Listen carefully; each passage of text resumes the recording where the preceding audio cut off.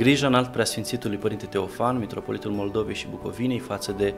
clericii din Arhiepiscopia Iașilor recent hirotoniți în ultimul an, se arată și prin organizarea și desfășurarea ediției de anul acesta a programului Formare Tineri Preoți, care se desfășoară aici la Miclăușeni. Timp de două săptămâni ne vom afla aici pentru a uh,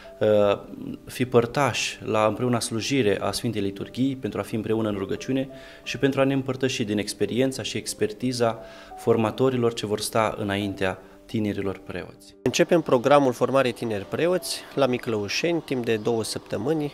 Ziua de astăzi a debutat cu Sfânta și Dumnezeiasca liturghie, săvârșită împreună cu Preasfințitul Nichifor Botoșăneanul, episcop vicar al Arhiepiscopiei Iașilor,